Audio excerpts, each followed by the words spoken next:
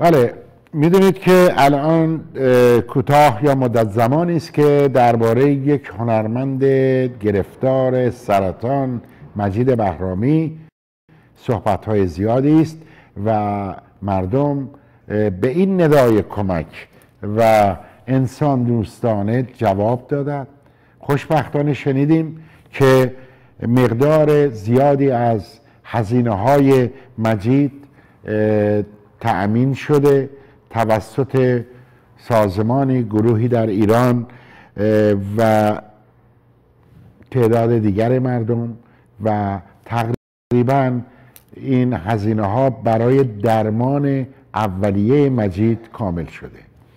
در تاریخ همین شنبه که میاد در دوازدهم در انجمن پریا طبق فراخانی که از قبل شده بود بنده به اطلاعتون رسوندم هنرمندان تورنتویی میزبان شما هستند با تدارک دیدن برنامه های هنری، موسیقی، آواز، رقص و نمایش و کارهای دیگر. و در اینجا کار هنرمندان تورنتویی آثارشون یعنی نقاشی و کارهای دیگر که اینها هدیه شده برای کمک به درمان این هنرمند خوب جوان مجید بهرامی که اکنون در آلمان بستری هستند. در اون روز این هنرمندان میزبان شما هستند. یعنی همین شنبه آینده در از ساعت چهار تا هفت در مجتمع پریا.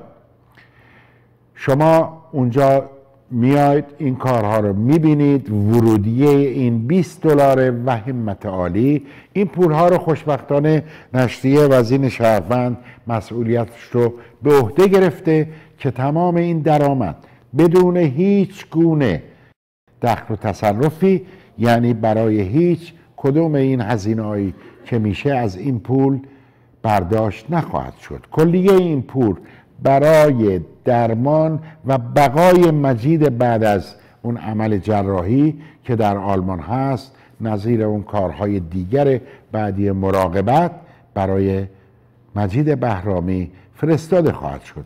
من امیدوارم که در روز شنبه در مجتمع پریا شما عزیزان هنر دوست رو ببینیم که هنرمندان شما در اونجا دست به چنین کار جمعی و گروهی زدند برای نجات یک جوان هنرمند به نام مجید بهرامی.